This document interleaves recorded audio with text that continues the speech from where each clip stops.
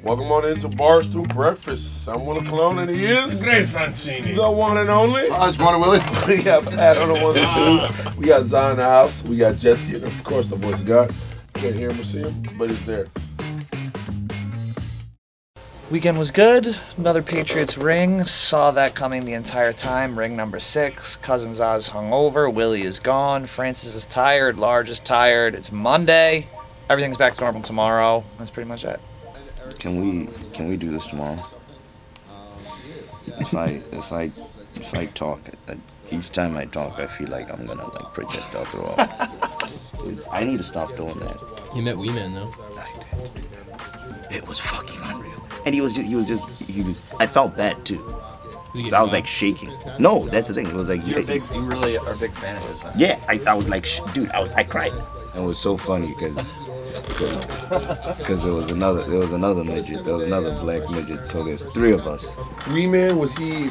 Was there any part of him that was like, thought it was cool to meet you, given that you're both little people? Uh, there any I connection on didn't- that? I was I was too drunk to figure to, to, Oh. to those kind of. It wasn't like it wasn't like when two. I don't think so. It was. You it know, black people were at a frat party. And no, no, no. He was very. and He was very. like, He was very mellow. He was very mellow. Because I've always wanted to be one of those black people. Nah, it was very He's the only other black guy at the party and says hi, but I mm. can't because then that's blackface. Very mellow. Very.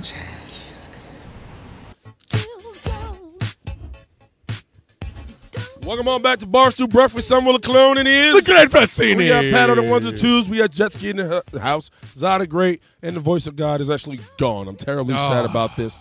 Uh, and so here we are. So something happened this morning. What do you got? So I told you I got in late.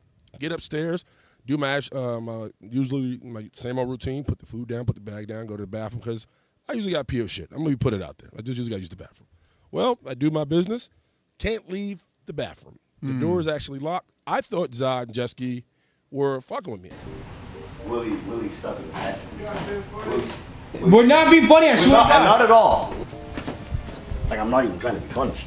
So I'm like, uh, why is the door locked? As I look down at the handle, there is no handle. It's just one this little. There's no handle to where it should be. I'm like, Za, you're gonna die. I'm gonna go through the door. See, it's even getting. I'm gonna do it. Wait, wait, hold on, hold on, hold on, hold on, hold on. I mean, I'm trying to save the door and furniture here. Uh, and it's it's checked up on. Five minutes go by, ten minutes.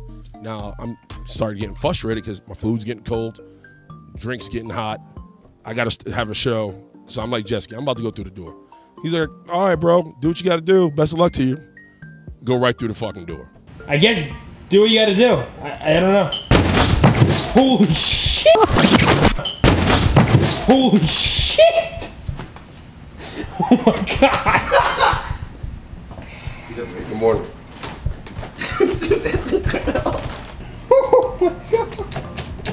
You see, it's not it's not open from this end. It's like stuck. But so anybody that's coming in, all the stoolies, uh, not stoolies, all the employees rather, uh, the the bathroom's out of order. Well, it's hmm. not out of order. You just can't close the door. I like how the door just says occupied with a fucking piece of cardboard.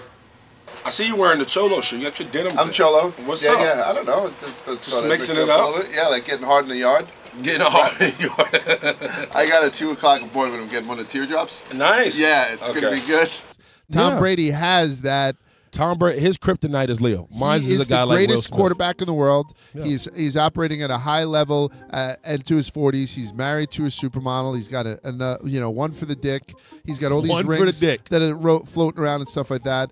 But uh, he cannot look Leonardo DiCaprio in the eye. No question. And I love that. And the fact. fact, you know, what's even This is worse false. about This is all fake news. why is this not? Why is this fake news, Patty? You think that he feels comfortable around Leonardo DiCaprio? no way. Yes. No why? way. He- Leonardo DiCaprio, I know for a fact, likes to do deviant things to women. So the fact that he had On an island. performed the colonoscopy on the mother of Tom Brady's kids at some point, a red wine induced colonoscopy, I'm going to call it. What are you talking about? Him and him and Gisele. Look, Tom, Tom Brady, has has swooped up this multi-million dollar supermodel Yep. and married her. I don't I don't begrudge him, but I'm glad there's one person in the world that Tom Brady ain't shit next Look, to, and that's Leo Leonardo is just DiCaprio. he's a poor, washed up actor with one Oscar. Tom Brady is at the peak of his career. He's richer. He has six rings. I mean, I don't what think he's do richer than Leo. Fuck Leonardo out. DiCaprio looks great at 45. No question. Whatever the hell he is. Guy wears Eh. a fucking baggy t-shirt. We're gonna tweet out a picture of the, their bodies. Are you Let trying to tell check. me, as a gay dude, that you don't find Leonardo DiCaprio attractive? Right.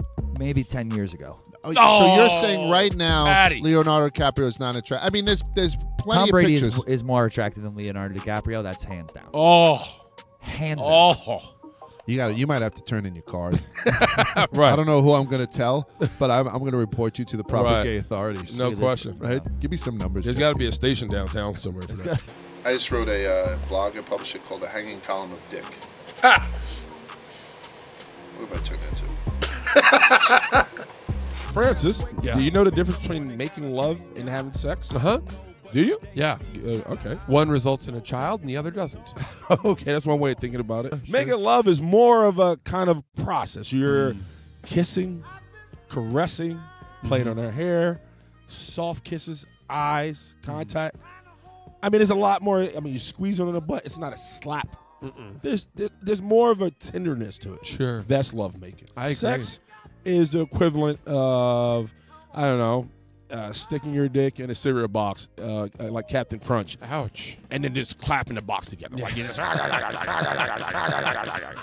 that's sex. What a fun show. We do well. We do have a good show. One of the best. Uh, I think there's an honest conversation to be had. Are you making love or are you having sex? Briggs, do Big you make, difference. Do you make love or you have sex? Depends who it is and what the situation. Boom. But there is a difference. Shoot or shoot, I guess. So, so are you making love or you having sex? Uh, I make love. Yeah. Go figure. Just kidding. I fuck.